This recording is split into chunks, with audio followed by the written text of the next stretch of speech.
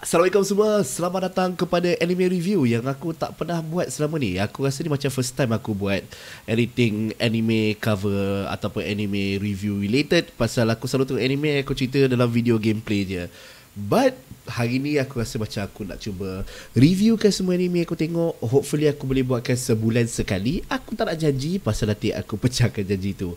But for today's episode, kita nak ceritakan pasal tajuk anime yang panjang dia adalah Rascals da- Rascal Does Not Dream of Bunny Girl Senpai yang baru keluar daripada 2018 yang baru saja keluar. Uh, so cerita dia adalah cerita yang aku rasa dah lama dah aku menunggu anime-anime macam ni. Pasal dulu aku tengok anime aku nak tengok untuk progression karakter and jalan cerita anime itu sendiri. And kebanyakan anime daripada beberapa tahun lepas macam tak ada yang macam ni. Aku rindu. And that's why aku berhenti tengok anime dalam 2 tahun. And tahun ni disebabkan banyak reviewer Banyak orang-orang katakan anime ni bagus. And aku cuba tengok And yes, it is one of the best anime yang aku tengok by far uh, Dalam drama. And siapa yang tak suka drama Tengok gaduh-gaduh tu Kau akan jumpa satu fight scene dalam anime ni. And fight scene tu adalah 5 saat that that is literally it. It's it's about 5 second and it's done. So tak adalah tapi cerita ni lebih kepada jalan cerita and semua tu lah.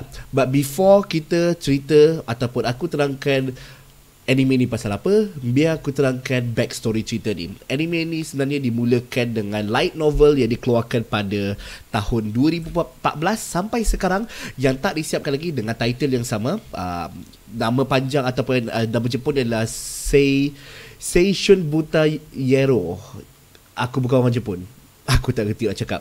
So ini dikeluarkan daripada April uh, 2014 Dah ada 9 volume untuk light novel dia And sampai sekarang masih tak habis lagi. Dan selepas itu dia akan keluarkan manga seperti biasa. Uh, Manga ni dikeluarkan pada 2016 Januari 2016 Dan sekarang ada 4 volume. Bukan chapter tapi volume.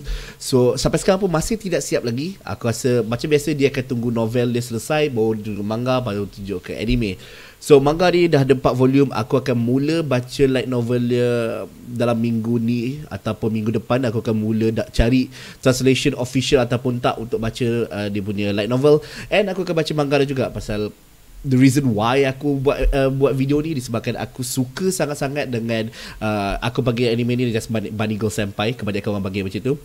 I really really love this. Um, kalau nak ceritakan pasal siapa yang buat dibuatkan oleh Heiji Hajime Kamoshida uh, dan diillustratekan oleh KG Mizoguchi. Aku rasa macam pernah baca novel yang diillustratekan dengan Mizoguchi. Aku tengah uh, search sekarang ni anime apa. Apa kata aku tunjuk sekali korang apa yang aku tengok. Tapi kalau tak sempat tak apalah. Aku rasa tak payah. Aku pun ni, ni record on the fly. Oh, yang ni...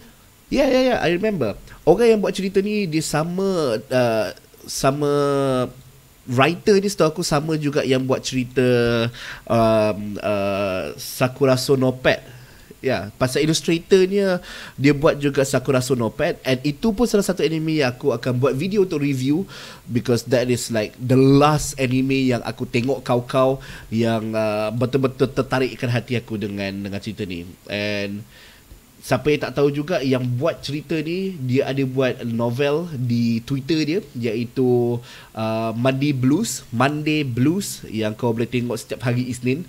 Dia Monday uh, that's one namanya Monday Blues. So kau boleh tengok pergi ke Twitter director ni yang daripada light novel iaitu Hajime Kamoshida. Hajime Kamoshida. Susah betul nak cakap. Um, Manga pun daripada director yang sama juga. So maksudnya Dia takkan potong. Ada uh, Light novel Light novel yang lain Yang tukar kepada uh, Daripada uh, light novel kepada manga. Lepas tu Dia tukarkan Pasal dia bukan dia Daripada writer yang sama. So dia akan potong-potong sikit lah. But kita abaikan itu. Sekarang kita dah tengok pada anime dia gambar yang kau nampak sekarang ni ni bukan gambar title anime. Yang ni adalah dia punya album lagu dia. So jangan keliru sangat. So cerita ni dia mengisahkan tentang uh, kita punya main character uh, salah. Main character ke main character kita Sakuta yang technically kau pernah nampak dalam anime yang lain di mana dia kayu. Kayu as in dia tak ada emotion. Dia dia tak kisah apa jadi kat dunia dia.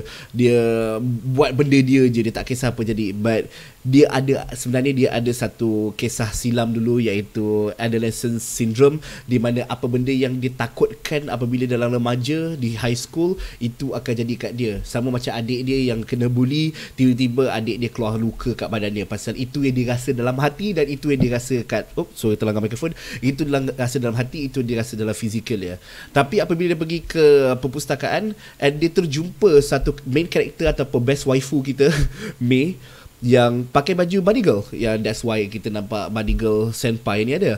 Uh, dia pakai dan tak ada orang nampak dia. Yang nampak dia hanyalah Sakuta sahaja itu disebabkan dia orang ada masalah yang sama that's why dia orang berdua je boleh interact. Selepas itu mulalah dia apa tu dapat selesaikan masalah satu persatu. Seperti biasa kita akan akan uh, jumpa karakter baru jumpa masalah baru dia selesaikan dalam episod yang sama ataupun dua episod akan datang. And itulah jalan cerita dengan kesemua karakter-karakter kau nampak di dalam skrin anda sekarang ni. Tak kisahlah kepada Mei ke ataupun kepada uh, Tamo Tamoe iaitu Tamoe Rio uh, Nodoka uh, Kaide iaitu adik dia dengan Shako. Shako ni kalau tikau aku tak nak terang banyak sangat pasal takut jadi spoiler. Pada semua yang kat rumah yang rasa macam tak tahu nak tengok ke tak cerita ni kau boleh tengok 3 episod pertama and you are done. Kau boleh lepaskan anime ni selepas tiga anime pertama tapi aku recommend untuk tengok semuanya pasal it's such a good good good series kau akan nampak karakter grow up kau akan nampak karakter berubah bukannya macam kita tengok uh, shonen punya anime dia macam ini episod 1 ini episod 20 dia tak ada berubah. That's why aku kadang-kadang tak apa suka One Piece pasal kadang-kadang apa jadi kat episod tu tak efekkan dia ke dalam cerita yang panjang. Within a few hundreds episode aku tengok karakter dia sama je. That's the reason why aku lebih suka tengok cerita drama So dalam cerita ni Dia ada 13 episod And aku recommend untuk tengok ke semua 13 episod. Kalau tak nak tengok 3 episod Dan you're done. Uh, Blu-ray masih lagi belum keluar daripada anime ni. So aku menunggulah. But But sebenarnya aku baru tahu Pada Jun 15 2019 Which is this year Movie dia akan keluar So I can't wait to see that. Aku tak tengok trailer Aku tak tengok apa. Aku senyap je daripada benda ni. But kembali pada cerita. So benda yang yang aku rasa paling menarik dalam cerita ni adalah interaction antara kedua-dua main karakter kita. Aku tak ada gambar dia tapi di antara Mei dengan Sakuta, uh, usually kalau kita tengok anime ataupun apa-apa show daripada anime genre, uh, mesti ada main karakter yang cakap terlepas cakap lepas. Dia main dia apa benda yang adalah hati dia dia cakap lepas je. That's fun that's fun But kadang-kadang pasal tak ada interaction dengan side character ataupun main uh, main lover, uh, main lover dia jadi bosan. Pasal dia macam sebelah sebelah pihak je. But dalam anime ni dia lain sedikit uh, disebabkan Mei pun jenis mulut lepas juga. So apa yang dia rasa dia cakap. So that's why aku rasa kalau aku dapat episod dengan diorang berdua aku dah happy dah. Walaupun dia ada banyak lagi karakter-karakter yang lain tapi kalau dia orang berdua saja pun aku dah rasa macam yeah, I'm fun. I'm I'm I'm fine. Dia orang just lepak dating berdua je ke, it's fine. Uh, love story dalam cerita ni is a bit rush aku boleh katakan but aku rasa disebabkan dia ada 13 episod je that's why kita rasa macam love story dia rush aku rasa dalam novel dia ataupun dalam manga akan rasa lagi drag out and usually kalau anime yang ada drag out drama uh, untuk aku dia akan jadi macam kita uh, dah kasih masa kita akan evolve dengan karakter tu uh, dengan love relationship tu. Contoh macam Kelanat uh, ambil masa 24 episod setahu aku. Aku tak ingat sangat aku dah lama tak tengok cerita Kelanat.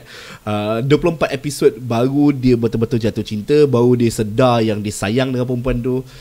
And that's why aku rasa invested gila dengan lagi 24 episod. Uh, Kelanat dia ada 40 uh, 48. Aku rasa dekat 30 pasal dia ada movie juga kan. So about 30 episod plus filler.